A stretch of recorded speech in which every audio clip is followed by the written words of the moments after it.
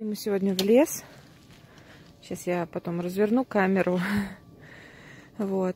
Думаем немножко собрать, может, грибочки какие-нибудь нам попадутся. Я иду по одной стороне леса, Витя идет по другой стороне леса. Ну вот с моей стороны только пока что одни поганки вон они растут. Не знаю, что там Витя на той стороне нашел. Сейчас пойдем посмотрим. Он пошел на ту сторону леса.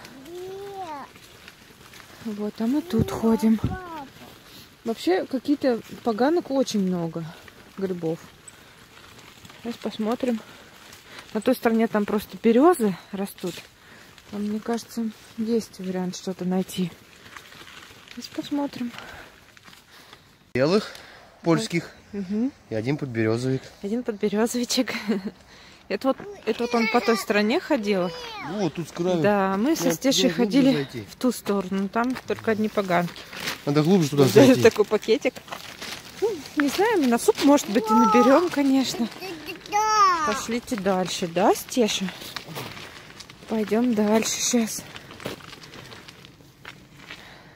Вот, в общем, я и развернула камеру, как обещала. Выходили мы, набирали немножко грибочков тут. Потом сейчас будем выходить из леса, я покажу, сколько мы набрали грибов. Вот. В общем-то, о чем я сегодня расскажу? Наверное, начну с того, что наконец-то выбрала удобное время записать видео, потому что сегодня с утра мне было немножко плоховато. У меня в последнее время что-то какое-то низкое давление. У меня вообще нормальное 120 на 60. А сейчас почему-то 110 на 70. А сегодня вообще 90 на 50 было. Я вообще не могла встать. Я лежала. Очень плохо себя чувствовала. У меня кружилась голова. Потом я решила выпить немножко, совсем чуть-чуть кофе с молоком. Выпила. Давление поднялось. Буквально там минут на 30, на 40. Вот. А потом об- обратно стало падать, как и было. То есть 90 на 50. Вот. И мы решили пойти подышать, в общем, свежим воздухом в лес. Как раз пока у меня не сильно разболелась голова от свежего воздуха, вот, я запишу вам видео. Видео будет об одном очень возмутительном случае э, в языковой школе. Ну, как муж у меня посещает сейчас курсы. И там вот произошел не так и давно такой, в общем, случай из ряда вон выходящий, скажем так. Э, В общем, получилось как? У меня сейчас идут уроки вождения, начались. Э, Теорию я сдала, а теперь я беру уроки вождения. Вот. И как раз на первый мой урок вождения попался так, то, что э, назначили мне термин.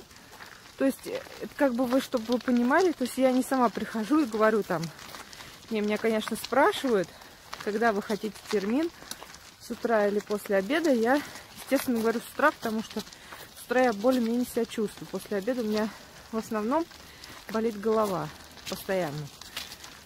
Вот. И я сказала, вернее, не сказала, просто сказала то, что я хочу с утра в форме так. И Фарлеру сделал мне термин, по-моему, на 9 утра, кажется, был у меня термин первый. Чё? Был у меня первый термин на 9 утра. Вот. А так как у нас маленький ребенок, вот, мужу пришлось, в общем, э, пропустить полтора часа занятия э, в школе. Он сидел с ней. Я быстренько откатала свои полтора часа. Ну, то есть у меня получилось два парштунды по 45 минут. А так вот, если перевести на обычное время, то полтора часа. В общем, э, муж потом пришел сразу в школу. И э, у него обычно вообще учитель, преподаватель, у него мужчина. А в этот раз заменяла, мужчина был на больничном преподавателе, и заменяла его женщина. Вот. Муж ее видел в первый раз, и она его видела в первый раз. Вот. И, в общем-то, когда он зашел в класс, то она начала спрашивать, мол, где вы были там. Он ей объяснил, что вот сегодня у жены первое вождение, так и так. Нужно было сидеть с ребенком с маленьким, больше некого попросить. Вот. В общем-то, тут у этой преподавательницы, я не знаю, у нее крышу что ли сорвало, в общем, Не, ее... Она строгая, она сказала. Я Ну строгая. да, она сказала, я очень строгая, и поэтому ее понесло. Ну, я, например, считаю, что это с ее стороны был расизм, просто а- обычный расизм. Когда, допустим, э, с мужем учатся сирийцы там, да, и арабы, то есть, и она им ничего не говорит, когда они приходят там за час до конца учебы, там, допустим, да, или на час учебы, она им ничего не говорит. Да, да вообще им никто не говорит, не только она. В этот день, когда он пришел, то есть на его глазах к- уже к концу занятий, то есть был такой случай, то, что а, один сириец попросил, в общем, можно я там на 30 минут пораньше уйду? Он сказал, да, окей. На час. А нет, на час, да. Она хотела же ему записать журнал, вот, то, что, ну, время поставить. Он сказал, ой, давайте вы не будете писать, у меня потом будут проблемы с жопцентром. Все, он сказал, да, хорошо, окей. Вот. И тут подходит мой муж в журнал и видит то, что она ему, в общем-то, поставила то, что его не было там, да, это время. Вот. И самое интересное, то, что тех, кого остальных не было, сирийцев, да, у них все стоял, как будто они были на занятии. Вот, поэтому из-за чего муж возмутился, то, что почему вы так мне высказываете, да, она, в общем, вы- высказывала, у нее были какие аргументы. То, что якобы она думала, то, что он по восьмому параграфу, да, то, что у него нет гражданства. И она говорит, вот вы все приезжаете там, да, никто работать не хочет, все ходят там по несколько раз, сдают этот Б1, там учатся. Муж говорит, у меня уже есть гражданство с первого дня, как я здесь, в Германии. У меня и у всей моей семьи. Вот. Я гражданин Германии. В общем-то, она, конечно, не поверила, то, что у мужа есть гражданство. Вот, начала дальше говорить, вот вы знаете, очень многих наших украинцев отправили целым автобусом назад. Вот, потому что они там, они там Не учились. Не учились. отсиживались. отсиживались, просто приходили на час посидеть. Вот, в общем, там я просто не буду перечислять, что она говорила, что мне муж рассказал. В общем-то, было очень неприятно, и с, с ее стороны это выглядело просто как расизм. Потому что кому-то, да, другой национальности она ничего не говорит. При этом, э, как сказать, превозносит национальность другую, я не буду говорить какую, да? А вот вы, типа, русские такие, вот вы все лоботрясы. Ну ладно, это еще не самое интересное. Потом, в общем, она говорит, я, в общем, сейчас позвоню в школу, в автошколу, где ваша жена учится, и скажу, чтобы ей ставили фарштунды после обеда, после того, как вы отучитесь. Вот. Ну, сказала, сказала. В общем, а у меня уже был назначен термин э, на следующий день, Через день. через день, да, на опять на утро мне назначат, потому что я раз повторю, именно утром я себя чувствую хорошо. У них, ну, нормально, в общем, для езды пойдет. Вот. И, в общем-то, муж приходит домой, я ему ну, спрашиваю, во сколько у тебя там назначен следующий термин, в общем, через день. Я ему говорю, на такое-то, на такое-то время. И тут, значит, мне Фарлера звонит и говорит, я вам перенес термин на 15 часов, то есть после обеда. Вот. Ну, я, естественно, конечно, не согласилась. Ну, в общем, я отказалась от предложенного мне времени термина. Потому что мне удобно с утра. Вот. Э, В общем, суть какая? То, что э, я посчитала, то, что она сделала неправильно. И это непозволительно с ее стороны переносить мне термин человека, которого она вообще не знает, ни разу в жизни не видела, не знает мою ситуацию, да, И она позвонила, перенесла мне термин. Также, я считаю, со стороны Фарлерла это тоже, не, ну, как сказать, недопустимо. Почему он слушает непонятно кого, он должен в первую очередь спросить у меня, удобно ли мне в это время прийти на вождение. Вот. В общем, э, скажу так, ни мне, ни мужу сейчас нервничать нельзя. А эта ситуация, она была крайне возмутительная. Просто и она очень сильно подняла нам нервы обоим. И мне, и мужу. И, в общем-то, мы решили, что это просто так это оставлять нельзя.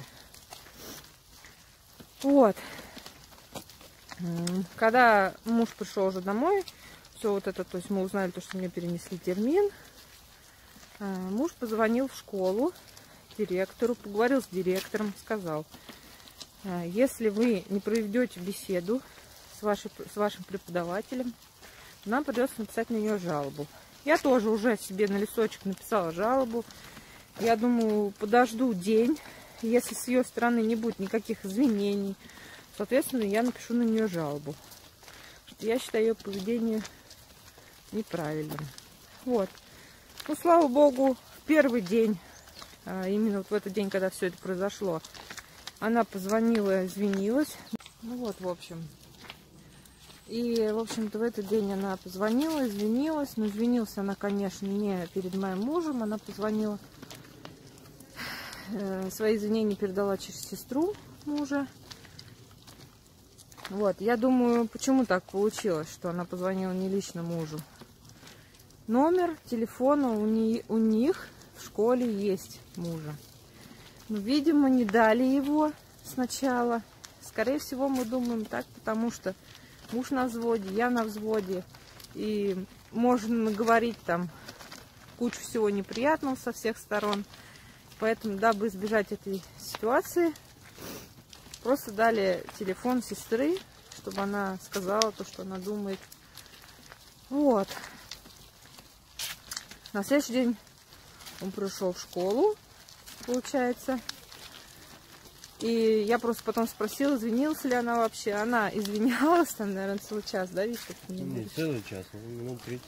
Минут 30 она извинялась, она сказала то, что извините, я поняла, что я была не права, я просто не знала то, что там ваша жена беременна, что у вас такая ситуация, то, что ему нельзя нервничать из-за его заболевания.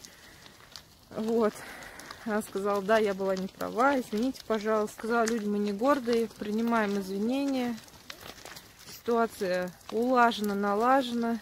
Все, как говорится, на мази. Больше с ее стороны так, таких поступков не будет. Вот. Что ты, вид говоришь? Теперь ты у нее лучший ученик, да? Ага. Муж говорит, я теперь у нее лучший ученик. Ага. Что она тебе говорит? Лучше всех разговариваю. Да. То до этого то ты вообще не можешь говорить по-немецки.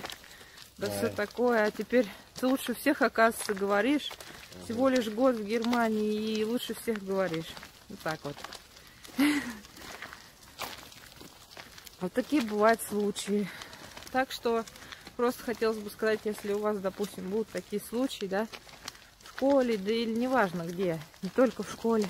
Надо уметь отстаивать свои права. Никогда не пускайте ситуацию на самотек. В общем, сколько мы грибов набрали. Тут разные грибы всякие. И белые, и свинушки. Да, ведь? Подберезовики даже. Подберезовики даже есть. В общем, много грибов набрали. В общем, будем с вами прощаться. Всем пока-пока. Всем удачи чтобы все у вас у всех складывалось. Пишите мне комментарии, задавайте вопросы. Всем я рада. Вот, подписывайтесь, ставьте лайки. Все, всем пока-пока.